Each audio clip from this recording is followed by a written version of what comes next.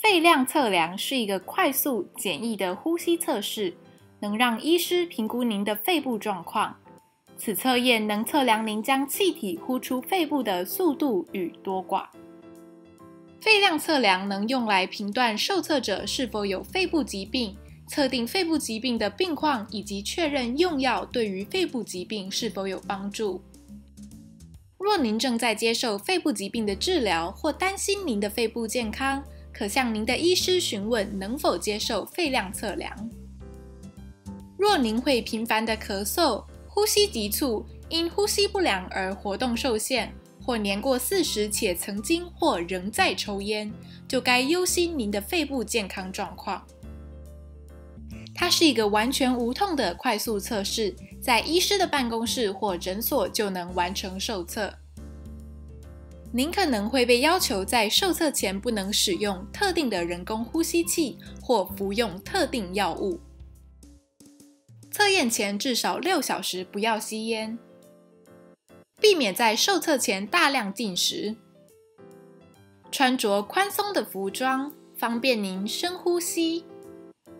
务必告知医师您最近是否有心脏病发作，是否接受眼、胸、腹部手术，有无气胸或肺结核。如有上述情况，医师可能会等到您康复再让您受测。肺量测量会使用到的器具就是肺量计。您需要确切地遵从技术员的指示。若您有佩戴假牙，可能得先将假牙拆除。您会被指示舒适的坐下，双脚平稳地放在地面，抬起您的头和下巴，以便自然地呼吸。接下来，您会用夹子夹住鼻子，将吹嘴放在牙齿间，并轻轻用双唇封住吹嘴。您会先正常呼吸，然后尽量吸进最大口的气，并且用最快的速度将气吹出来。您必须持续吹气，直到感觉肺部完全清空。这时，技术员会在指示您正常呼吸。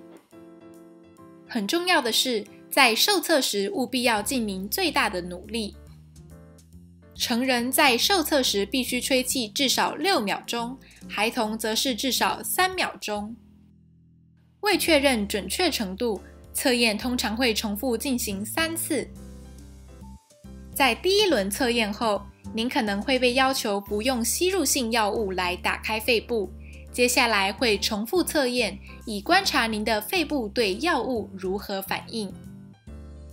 肺量测验会产生数据及图表，来显示您呼吸时出入肺部的空气体积和流动状况。肺量测量时需快速且猛烈的呼吸，可能会使您感到疲惫、晕眩或头痛，甚至咳嗽或感到胸腔紧绷疼痛。如您有任何不适，一定要告知技术员。请记住，肺量测量是一个快速简单的测验，能使医师了解您的肺部健康并提供所需治疗。越早受测。肺部疾病就能越早发现及治疗。今天就和您的医护人员讨论，您是否该接受肺量测量吧。Thank you.